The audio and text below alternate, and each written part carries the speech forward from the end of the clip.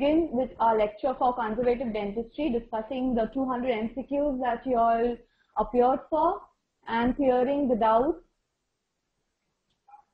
Let me first begin with introducing myself to you. My graduation was from Government Dental College and Hospital, whereas my post-graduation happened in Maulana Azad Institute of Dental Sciences, New Delhi, for which I had appeared for three sets of exams. One was All India in 2010, for which I stood third. Then I gave Maharashtra CET 2010, for which I came first. And then, of course, COMET was given by me, for which 10th rank was achieved. Presently, I am an assistant professor in the Department of Conservative Dentistry and Endodontics in Government Dental College and Hospital, Bombay.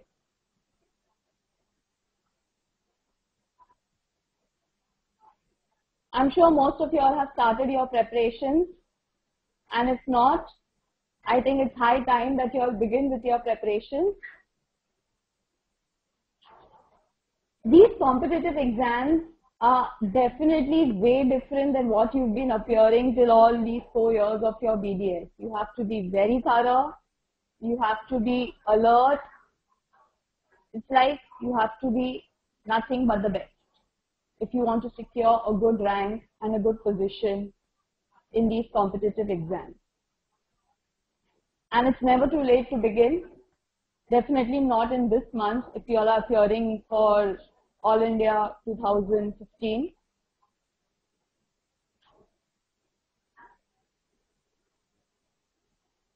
Now, when I talk about the material that you have to study, definitely there are these five books, your Dental Pulse, the Gauri Shankar, your NBD, and the two medical books that is Amit Ashish and Modi Khanna, Mudit Khanna. These multiple choice question books are something which is to be known by heart, each and every line, each and every page, each and every synopsis. At the same time, when you are attached to a test series or a class quiz, it will help you to orient yourself as to at what level are you performing, how much more do you need to put in your effort, and if it's going really well, if you're securing good rank, you need to maintain it at that level. Throughout, there's something called as perseverance. You have to remain dedicated to your cause.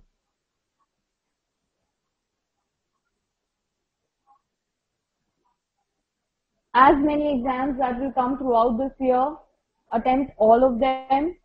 If you win, that's a good one. If you do not, do not get discouraged. It's all upon hard, hard work as well as your luck. So ensure that you are giving your best at each and every step while studying, while preparing, while giving your exams, and success will follow.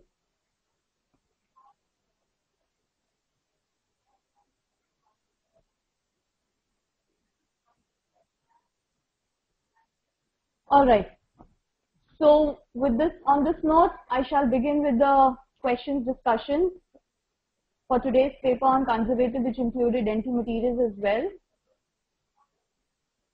If there's anything, what my aim would be for a particular question, I would like to explain y'all the theory that is related to it because until and unless few concepts are not clear, any amount of question which is twisted and turned upon a particular text, you will not be able to answer.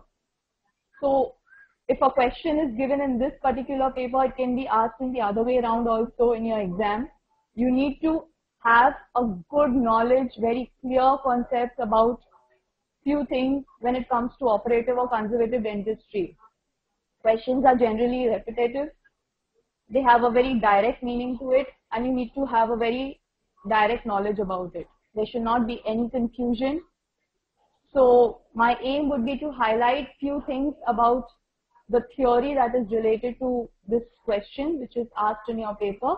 And if there's anything else beyond this which you all would like to know or you want an open discussion and on this forum, you can please keep posting your comments and I shall discuss it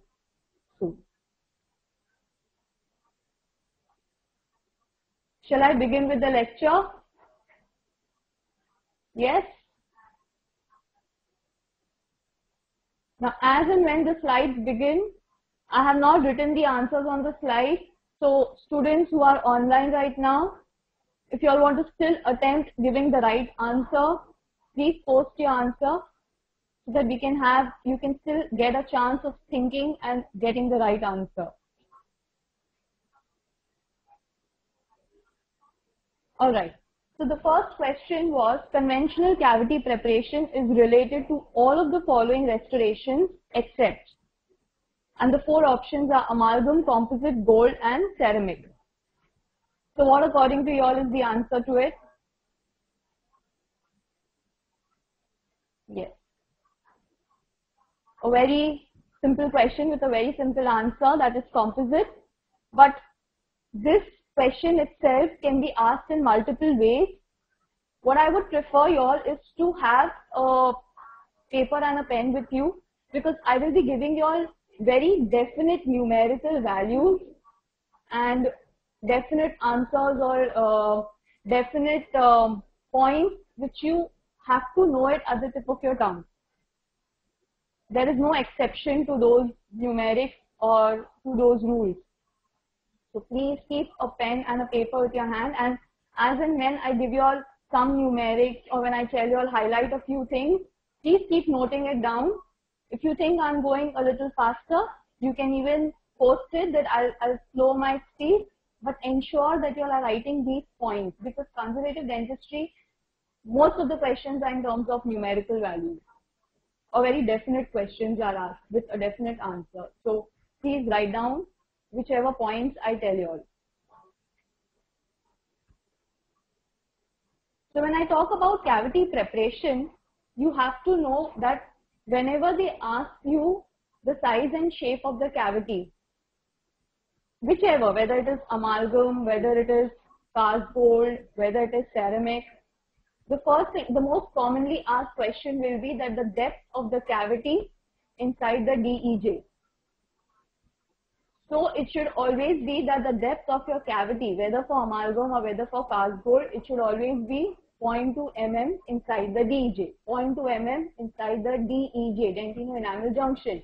The only exception to this is with composites because they have micromechanical retention. They do not require the, the, the cavity shape proper for their mechanical retention. It will be depending upon the micromechanical bonding. When you talk about retention for amalgam, and for gold. Amalgam, the primary retention will be through its occlusally converging walls and the dovetail. Whereas with cast gold, the primary retention feature will be through the surface area of the wall. That is in terms of its parallelism, in terms of its length, and also the dovetail. So primary retention with the cavity, uh, conventional cavity preparation which is done for amalgam is through occlusally converging walls and the occlusal dovetails. For cast gold, it is through the parallelism of the walls, through the length of those walls as well as through the dovetails. So it's the frictional resistance between the restoration and the walls which will allow for the retention. Whereas for composites, it is only by micromechanical bonding. It does not depend upon a perfect shape and size and depth for it.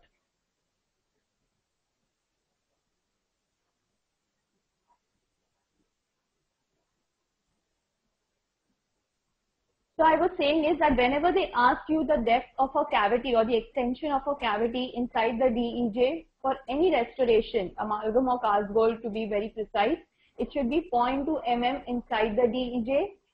If the question says that secondary retention is required, then it should be 0.5 mm in, inside the DEJ because the retention locks or the grooves that will be given will be in a depth of 0.5 millimeter.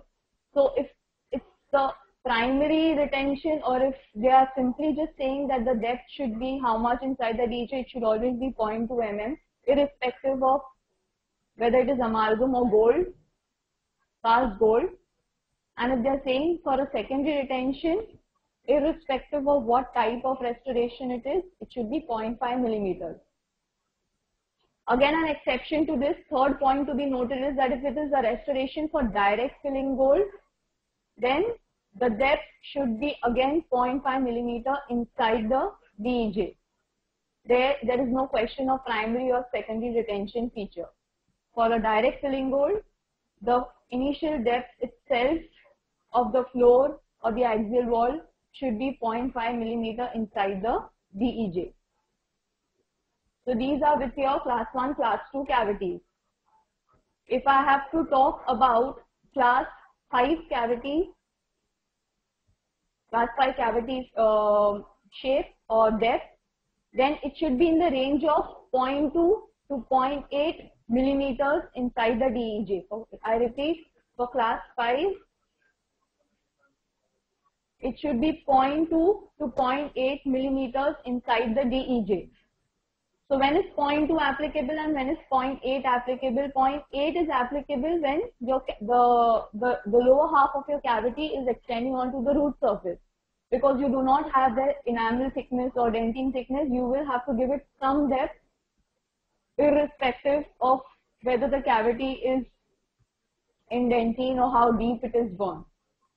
But for the occlusal half, it should be again 0.2 mm inside the DEJ when you do not want to give any other secondary retention feature. So 0.2 to 0.8 millimeters.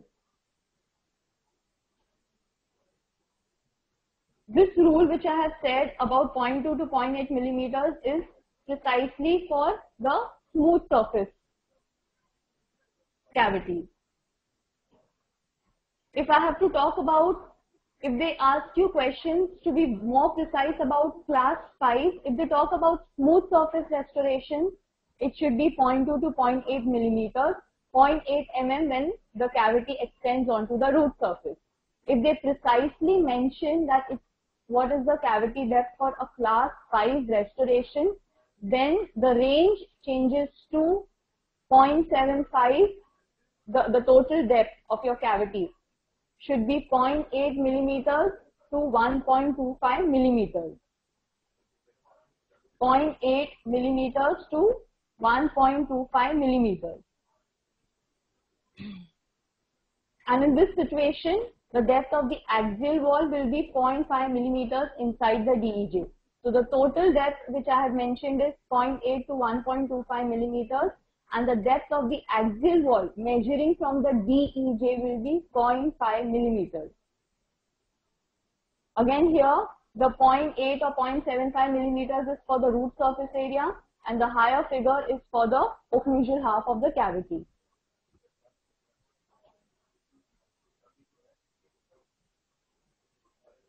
I'm repeating these entire figures. The initial depth for amalgam oblique cast gold, it should be 0.2 millimeter inside the DEJ.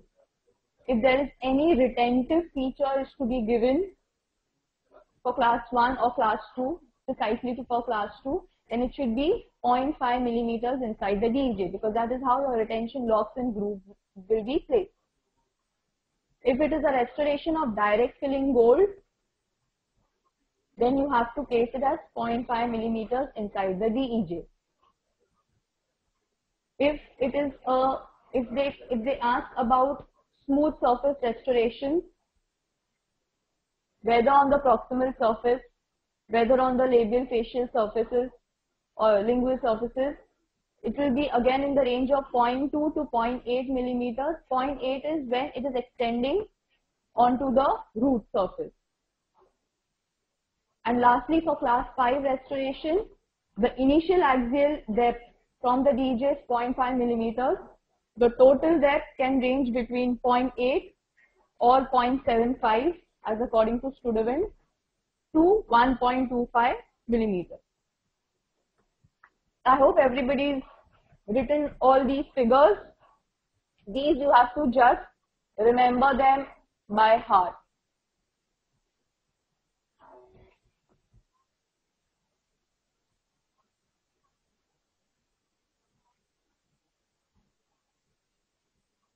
Alright. Few more things about the cavity preparation as and when there are few more questions that will come in due course, I will also highlight those points. For now, you remember these depths and the various numbers. Coming on to the next question, spread of caries along the DEJ and exceeding the caries in the contiguous enamel. Caries extend into the enamel from this junction and it is termed as what?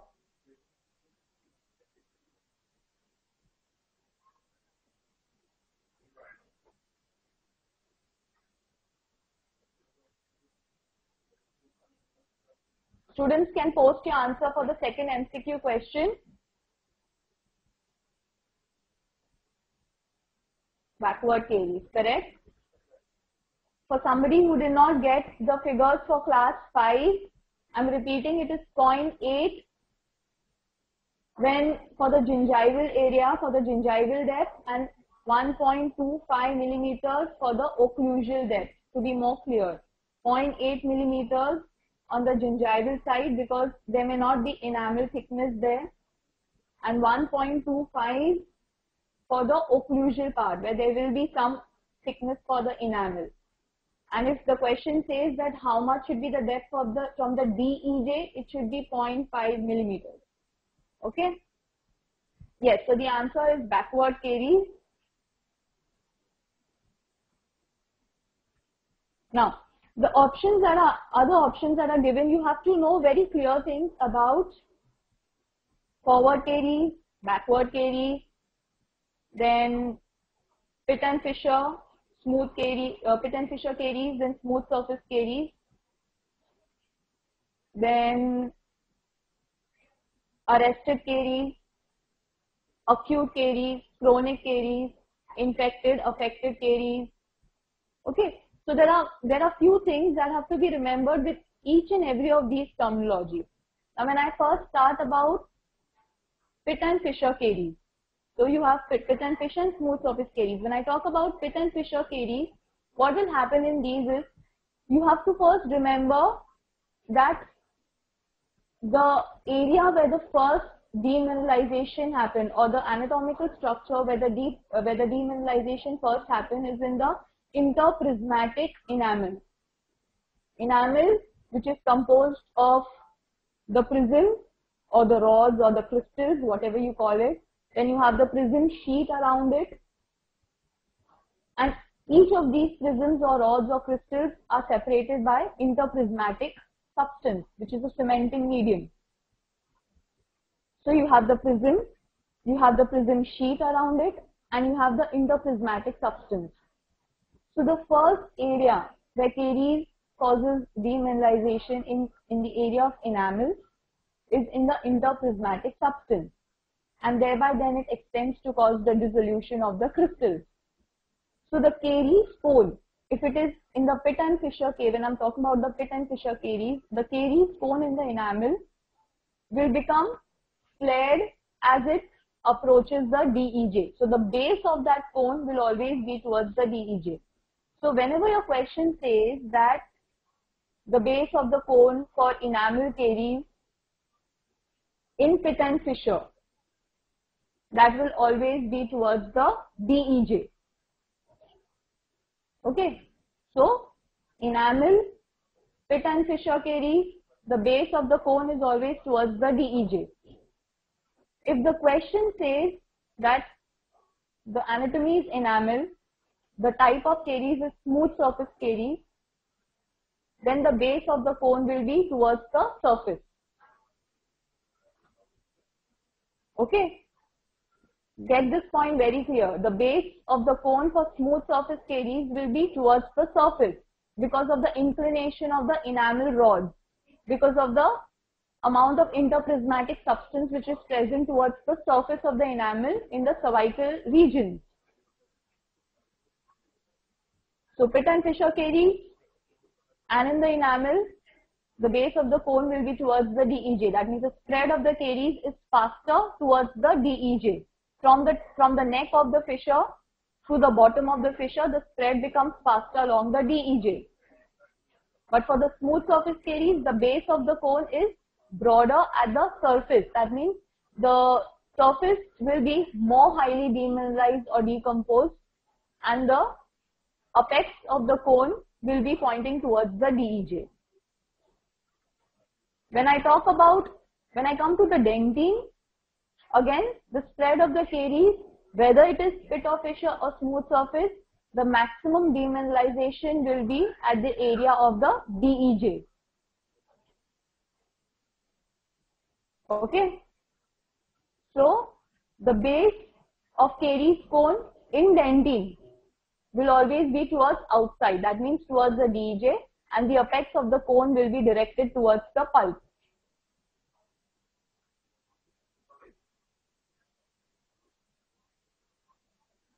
And the first,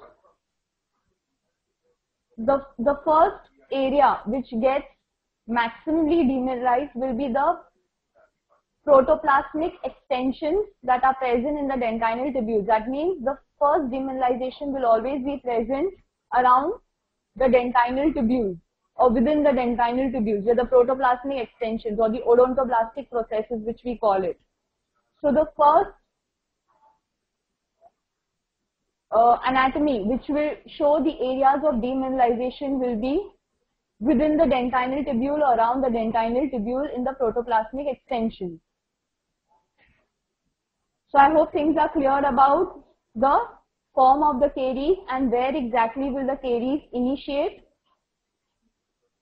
Now when I talk about forward caries and backward caries is forward caries is when your enamel is more carious or the caries found in the enamel is more as compared to the dentine. And backward caries is when the dentine has demineralized faster. That means the caries found in the dentine is broader as compared to that in the enamel. It is particularly seen when you have clinically in such a situation you see that the surface enamel is generally intact. It is opaque white. It is generally intact. And on the underneath surface you will have brownish black discoloration. That's because in the underneath uh, uh, underneath that means below the enamel dentine has completely mineralized and still enamel on the outer side has managed to retain its form is generally in the form of undermined enamel. Okay. Now, apart from that, you have to also know the difference. So we've uh, spoken about pit and fissure smooth caries, pit and fissure and smooth surface caries. Then we've spoken about forward and backward caries. Then you need to know acute and chronic caries.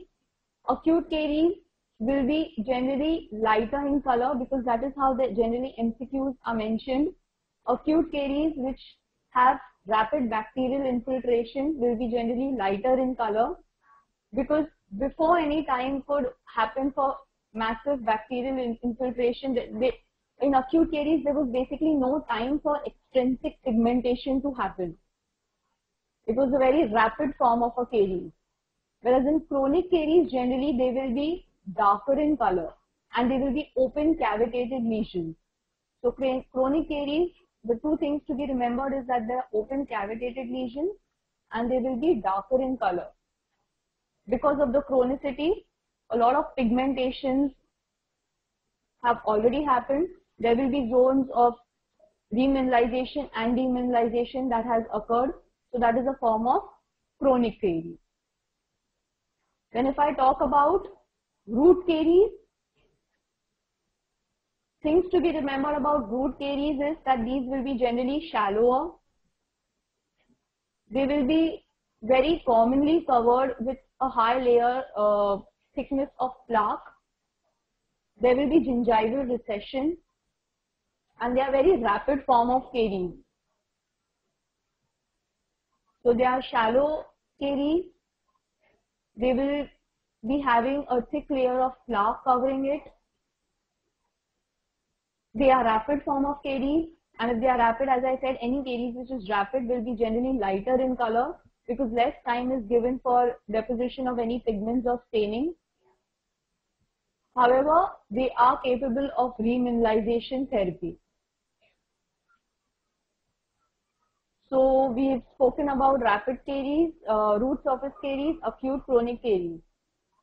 In a form of chronic caries, you can also mention the word eburnated dentine or arrested form of caries in which the area which has become self-cleansable. Suppose uh, caries has happened on the proximal surface and the adjacent tooth was extracted or it lost due to some uh, decay or periodontal disease. Then that, that area becomes accessible to the salivary buffers and that itself causes some remineralization. So unless for cosmetic treatment, these caries need not be treated. Arrested caries need not be treated unless it's for cosmetic treatment because they have self-repaired themselves and it is called as eburnated dentine, E-B-U-R-N-A-T-E-D. That is the arrested form of caries.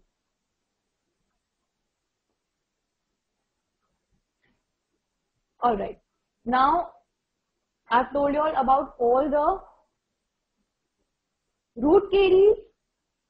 If see there are there are a lot of factors to be known for the remineralization of root caries. If it is heavily infiltrated with plaque, pellicle, there is poor oral hygiene, then definitely because it's so rapid, before any remineralization or before self-repair has can occur, it has already created so much destruction or cavitation that it may not self-repair.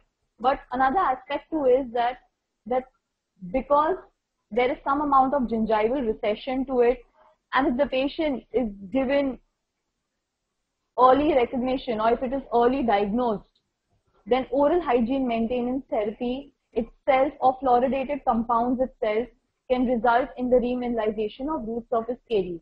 So it's a double-edged sword. If it is given the proper treatment at early diagnosis, then yes, they can remineralize. But if it is not, if there is heavy infiltration of plaque, then but of course, nothing much can be done. Beyond this, I think you all should write down the five zones of dentinal caries because that is very commonly asked because it's these five zones and the various separations between these zones have been very clearly uh, uh, noted down in students which are remineralizable, which are not remineralizable.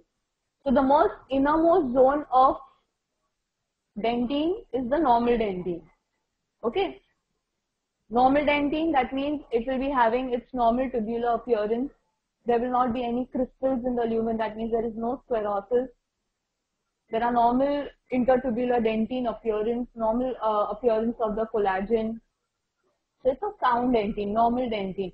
Any cutting or any stimulation of a normal sound dentine without water coolant or too much of heavy pressure will stimulate some pain because of the receptors that are present. So normal healthy dentine which has no bacterial invasion, which has no demineralized zone, that will be generally exhibiting sharp pain on an explorer or when you're doing dry cutting or on desiccation. So that is first zone which is the normal dentine. The second zone is the subtransparent dentine. The things to be noted about subtransparent dentine is that it's an area where some demineralization has happened. Demineralization where in the intertubular dentine. Demineralization in the intertubular dentine some crystals have been formed in the tubule, dentinal tubules. Because of why these crystals have been formed, it's in the form of a healing process. It's a self-repair process. Some irritation has occurred on the outer side. So the odontoblast, either the uh, the the parent odontoblast or the newly differentiated odontoblast, they have resulted in the formation of some crystals within the tubule so there is some demineralization, there is some crystal, there is some sclerosis in the dentinal tubule, but there is no bacterial invasion. So this again zone is capable of remineralizable. Though there is some demineralization, it is again capable of remineralization. So zone 2 can also remineralize. Zone 3 is the transparent dentine. Transparent dentine, again, it is a zone which can be remineralized.